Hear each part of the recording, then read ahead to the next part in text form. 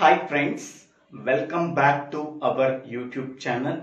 Today we have to discuss about implementing half subtractor using demultiplexer in digital electronics course, digital logic design course and switching theory and logic design course. Before going to that video, first of all, we have to know about what is half subtractor, what is the truth table of half subtractor, how to write the boolean expressions for each and every output of the half subtractor in terms of minterms. After that, we can implement the half subtractor using demultiplexer. So these are the points that we are discussing in this video. Half subtractor is a combinational circuit that is used for performing the subtraction operation between two bits. Suppose I am taking the two bits are 0 and 1. Okay. With two inputs, how many number of possible input combinations we are getting? That is 2 power n number of possible input combinations we are getting. So that is equal to 2 power 2 that is 4 possible input combinations we are getting. That are 0 0 0 1 1 0 1 1 these are the four possible input combination. How to perform the subtraction operation between these two bits so 1 minus 1 so that is equal to 0 next 1 minus 0 so that is equal to 1 0 minus 0 that is equal to 0 0 minus 1 it is not possible. We can take the borrow. In the case of binary each borrow is nothing but 2 now 2 minus 1 that is equal to 1 here we have to write 1 with borrow 1 Okay, so these four rules we have to use. By using that four rules, we have to perform the subtraction operation between these two bits. For that purpose, we have to use a combinational circuit called as half subtractor. Okay, half subtractor is a combinational circuit that is used for performing the subtraction operation between these two bits by using these four rules. Next one. A half subtractor is a combinational circuit that can take two inputs A and B and produce two outputs that is the difference and borrow. Okay. Two inputs and two outputs. Okay. Next one. What is the truth table of half subtractor? We already know that a half subtractor can take two inputs that are A and B. With two inputs, how many number of possible input combinations we are getting? That is 0, 0, 0, 1, 1, 0, 1, 1. Next, half subtractor can produce two outputs that is difference and borrow. So these are the two outputs. How to write the difference value for each and every possible input combination. How to write the borrow value for each and every possible input combination. So we have to use these rules. First a value 0, B value 0. 0 minus 0 so difference value 0, there is no borrow is generated, so that borrow value is also 0. Next one, 0 minus 1. Second possible combination 0 and 1. 0 minus 1, we are taking difference value 1 and borrow value is also 1. This is the important point. A value 0, B value 1, we are getting difference value 1 and borrow value 1. Next one, third possible input combination 1 0 that is 1 minus 0 so difference value 1 there is no borrow is generated. So that borrow value is also 0 next fourth possible input combination 1 1 1 minus 1 that is 0 difference value 0 there is no borrow is generated. So that borrow value is 0 so this is the truth table of half subtractor okay so here 0 0 the equivalent decimal value is 0 0 1 the equivalent decimal value is 1 1 0 the equivalent decimal value is 2 1 1 the equivalent decimal value is 3 okay now once we are constructing the truth table of half subtractor now the difference output can be represented as a sum of minterms and also borrow output can be represented as a sum of minterms. Okay, here for each and every output of the half subtractor, so that can be represented as a sum of minterms.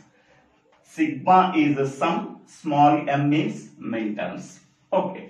Here we have to write the min term number. To write whatever the min term numbers are there, first we have to observe the difference output column.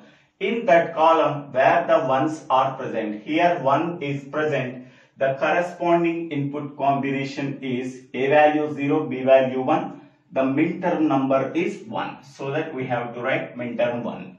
Next, here 1 is there. The corresponding input combination is A value 1, B value 0. The corresponding minterm number is 2. So here there are no other remaining ones are there. Okay. Next, we have to write the Boolean expression for borrow output as a sum of minterms. So sigma m of in the borrow column where the ones are present. Here one is present. The corresponding input combination is a value is uh, 0, b value 1. The minterm number is 1. Minterm number is 1. Okay. So this is the difference output and borrow output can be represented as a sum of minterms. Okay, next here the boolean expression is A exclusive or B. Okay, how to get A exclusive or B? So minterm 1. So minterm 1 is A value 0, B value 1. A value 0 means A bar, B value 1 means B. So A bar B. Next min term 2. A value 1, B value 0. A value 1 means A, B value 0 means B bar. So A bar B plus AB bar. So that can be written as A exclusive or B. So this is the difference output. So for difference output, what is the boolean expression we are getting that is equal to A exclusive or B. Next, for borrow output, what is the expression we are getting? Borrow B is equal to only minterm 1. Minterm 1 is nothing but A value 0 and B value 1. A value 0 means A bar and B value 1 means that is B. Okay. So this is the boolean expression for each and every output of half subtractor. This boolean expression can be represented as a sum of minterms.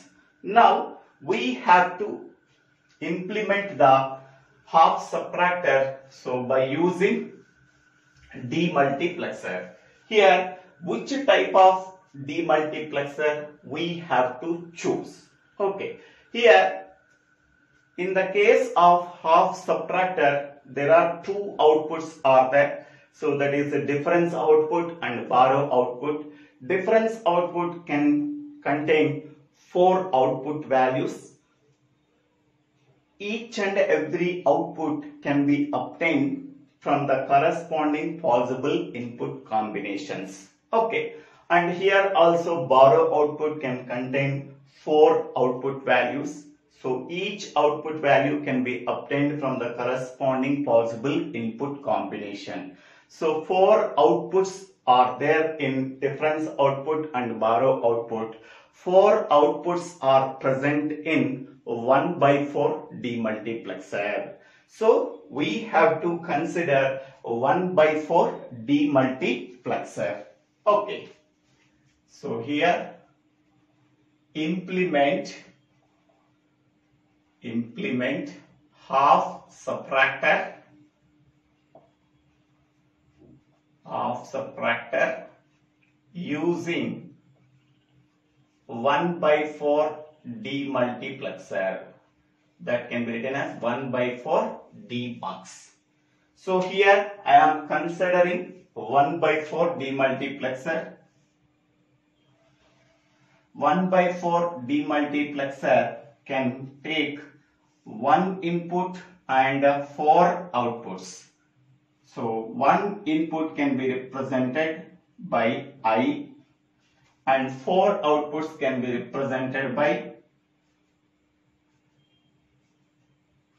so this is 0 1 2 3 these are the four outputs so hence we can say that this is 1 by 4 demux. So 1 by 4 demux can contain one input and produce four outputs. So that are 0, 1, 2, 3. Okay. So 1 by 4 demultiplexer produce four outputs among the four outputs, at a time only one output is selected. How one output is selected among the four outputs by using number of selection lines. How many number of selection lines required to select only one output among the four outputs? So 4 outputs can be represented as 2 power 2. In the power 2 is there. So therefore number of selection lines. Number of selection lines is 2. So that are so S2 and S1. Okay, or S1, S0. There is no problem at all. S1, S0. So here I am taking two selection lines that is so S1 and S0. So these are the two selection lines. So S1 S0 value is 0 0. The equivalent decimal value is 0. Therefore first output is selected. S1 S0 value is 0 1 the equivalent decimal value is 1 therefore this output is selected s1 s0 value is 1 0 the equivalent decimal value is 2 therefore this output is selected. S1 s0 values are 1 1 the equivalent decimal value is 3 so therefore this output is selected. Okay. So by using these two selection lines, we are selecting only one output. Okay, this entire operation can be done when the enable input E value is equal to 1. This is called as enable input. It can also called as control input. It can control the operation of the 1 by 4 demultiplexer. If E value is equal to 0, the demultiplexer does not perform its operation. If E value is equal to 1, the multiplexer can, the demultiplexer can perform the operation. So now, how to produce these two outputs by using this 1 by 4 demultiplexer. How to get difference output? The difference output can be obtained by summing the minterm 1 and minterm 2. Minterm 1 is nothing but output 1. Min term 2 is nothing but output 2. Okay. So here output 1 and output 2. These two can be added. So then what is the output we are getting? That is difference output we are getting. Okay. So what is this value? This value is A bar B. A bar B.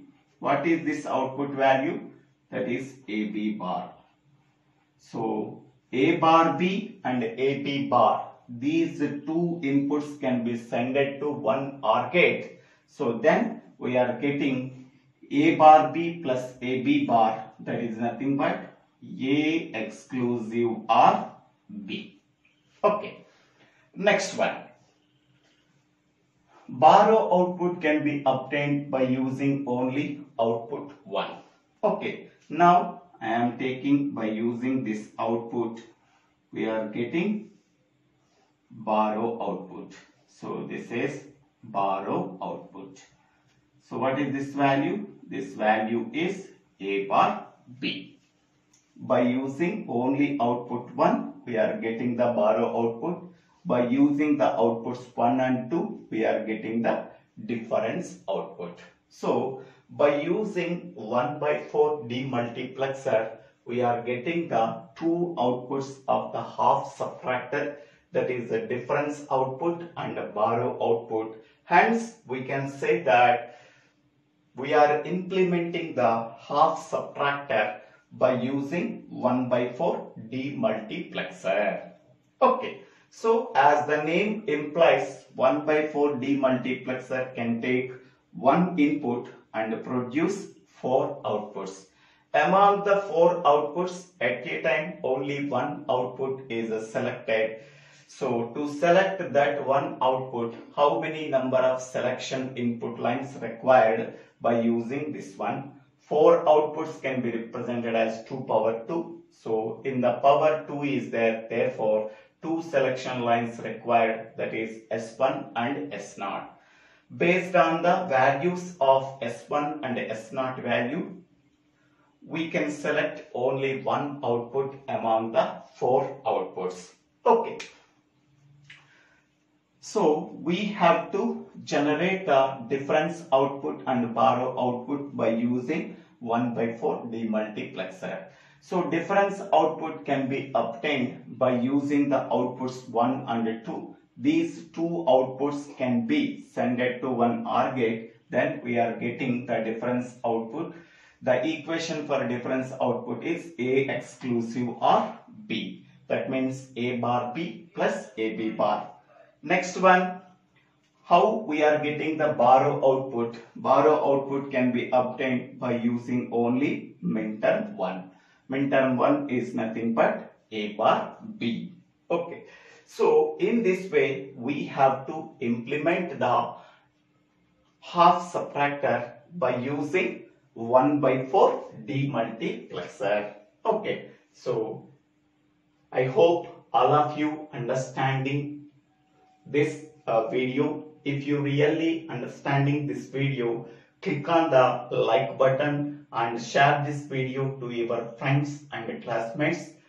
If you really like this video, please subscribe my YouTube channel. So, Divvela Srinivasa Rao. After subscribing my YouTube channel, click on the bell icon to get the future updates in my YouTube channel. After, don't forget to subscribe my YouTube channel. Thank you. Thank you one and all for watching this video.